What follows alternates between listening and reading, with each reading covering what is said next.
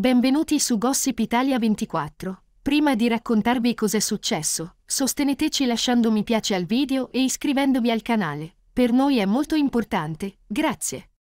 Il mistero sulla morte di Liliana Resinovic si fa sempre più complesso. Una nuova perizia ha stabilito che la donna sarebbe deceduta il 14 dicembre 2021, lo stesso giorno della sua scomparsa. Tuttavia, lo zoologo Bressi ha avanzato un'ipotesi che getta ulteriori ombre sul caso. Secondo lui, il corpo di Liliana sarebbe stato collocato nel boschetto dell'ex OPP di Trieste soltanto il giorno prima del suo ritrovamento.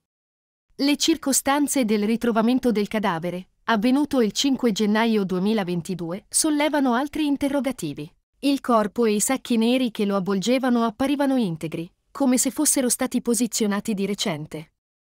A complicare il quadro è un servizio televisivo di Mattino 5, che ha rivelato un dettaglio inquietante. Sulla mano di Liliana sono state trovate formiche morte appartenenti a una specie che, in quel periodo dell'anno, avrebbe dovuto essere in letargo.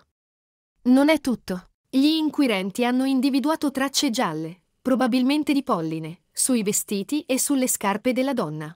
Questo elemento suggerisce che il corpo potrebbe essere stato conservato in un altro luogo prima di essere abbandonato nel bosco.